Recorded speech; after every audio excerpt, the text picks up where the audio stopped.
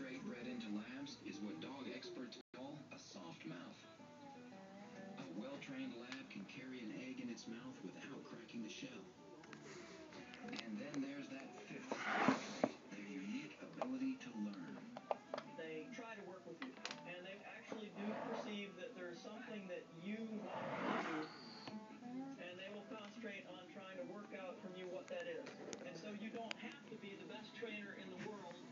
just need to be making an effort in the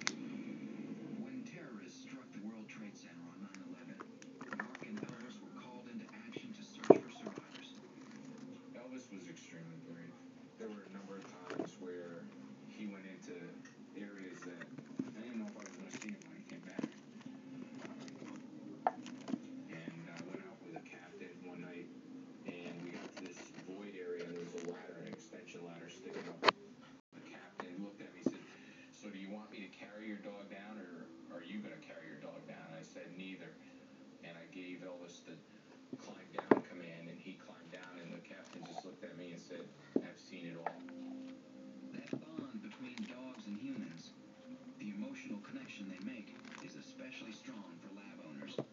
Ask trainer Amy Dahl about her first lab. I love the dog a great deal. Having a hard time talking about him. Um, he was monumental in my life. Before he died, he uh, you know clearly was ill and in a certain amount of pain. And I looked at him one day, and he he really was uh, not wanting to get up because he felt bad.